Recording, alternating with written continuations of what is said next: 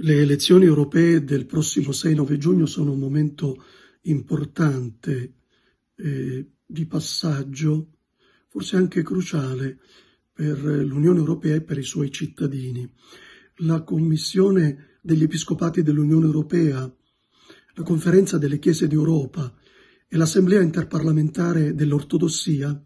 hanno voluto rilasciare una dichiarazione comune per esprimere insieme le preoccupazioni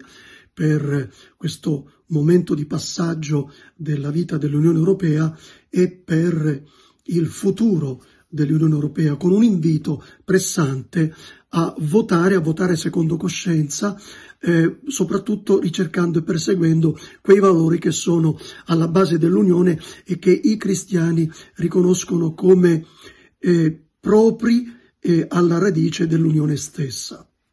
Ci sono motivi di grande preoccupazione in questo momento, le crisi attraversate e quelle in corso, le sfide dinanzi a noi, le guerre in atto. Tutto questo deve spingere a contrastare eh, la tendenza alla strumentalizzazione della religione e alla disinformazione, cercare invece di mettere eh, in atto e di mettere in luce i valori che permettono alla Unione Europea di andare avanti, di costruire un futuro sicuro. I cristiani in questo sono invitati a impegnarsi e a coinvolgersi nella maniera più piena e cordiale. Il loro impegno è non soltanto nel momento elettorale, ma nel promuovere soprattutto